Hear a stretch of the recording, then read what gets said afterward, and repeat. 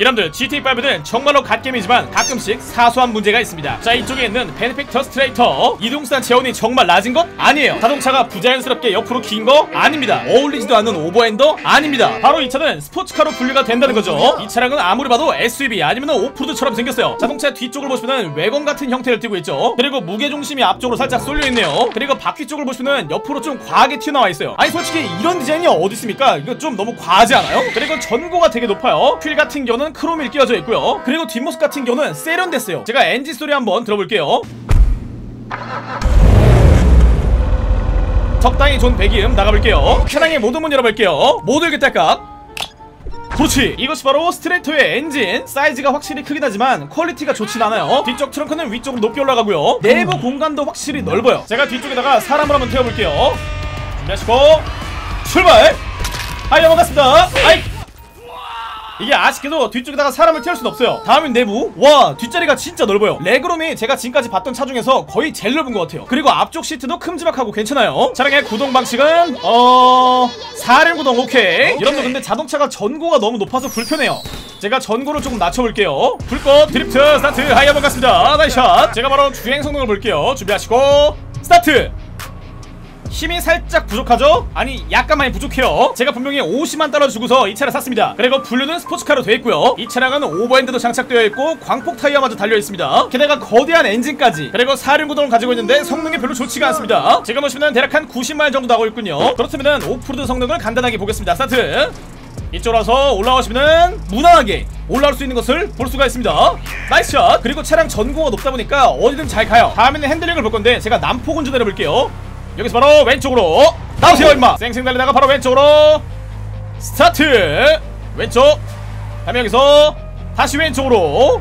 여러분들 차가 확실히 길어서 핸들이 좀 크게 들어가요. 여기서 오른쪽으로 이렇게 크게 들어가는 것을 볼 수가 있죠? 그렇다면 이제 녀석의 진짜 성능을 보기 위해서 업그레이드를 해보도록 하겠습니다. 내구도 full up 브레이크 full up 다음에 범퍼. 먼저 앞범퍼를 쭉 볼게요. 보시면 디자인이 정말 다양해요. 건드리지 않을게요. 엔진 full up 그 다음에는 후드 보겠습니다. 여기에도 마찬가지로 개조 항목이 정말로 많이 있습니다. 레이스 후드 골라드릴게요. 경적은 아무거나. 조명 제논 헤드라이트. 네온 키트는 앞면 뒷면 옆면. 네온 색상은 electric blue. 자 다음에 도색. 1차 색상은 ice white.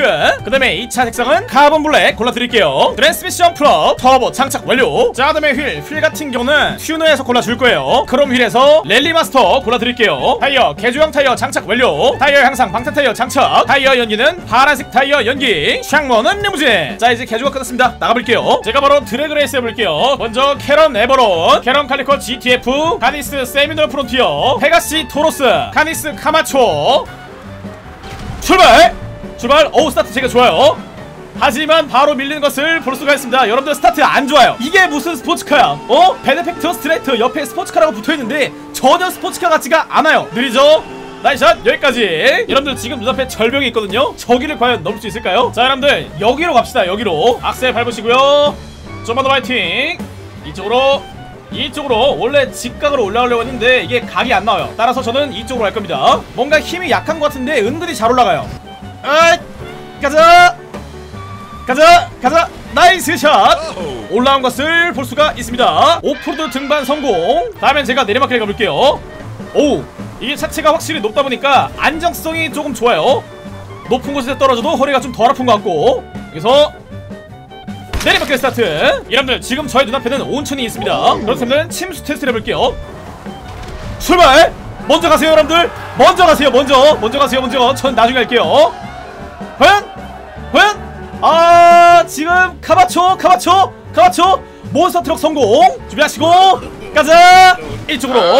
아 뭐야? 아니 아니 물에 들어가자마자 침수는 너무한 거 아니야? oh my god 물속으로 보시면 다른 차들이 많이 죽었군요. 이번에는 다른 자동차들을 밟고 한번 지나가 볼게요. 하이 한번 갔습니다. 하이 하이 하이 한번 갔습니다. 잠시만요. 몬스터 트럭 스타트. 과연? 한 번에 성공. 자 같이 팀 갑시다. 과연? 아 가치임도 성공? 자 여러분들 다시 가겠습니다. 스타트! 가자! 과연?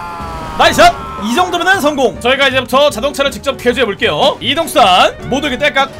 그렇지! 먼저 타이어를 뽑아줄게요. 이렇게. 위에다가 엔진을 부어드리고 이렇게 콸콸콸 콸콸콸! 자 최루가스! 밑에다가 깔아드릴게요. 문짝을 조금 때려줄게요. 자 보시면은 나름 깨끗해진 것을 볼 수가 있죠. 오! 칸잘리? 온다! 옵니다 아 메테오님 메테오님 메테오릭 버스! 밖으로 나가야 됩니다. 저기 있는 칸자리를 뚫고 말이죠. 가자 출발 하트! 브락셀 브락셀! 밀리는 것을 볼 수가 있죠. 다음에는 비질란테 부스터. 가자! 까 그렇다면 이제 베드픽터 스트레이터에 대해서 종합적인 평가를 듣고서 마무리 하도록 하겠습니다. 이 차량 같은 경우는 디자인이 이쁜 시민차 같아요. 자 그렇다면 세팅이었습니다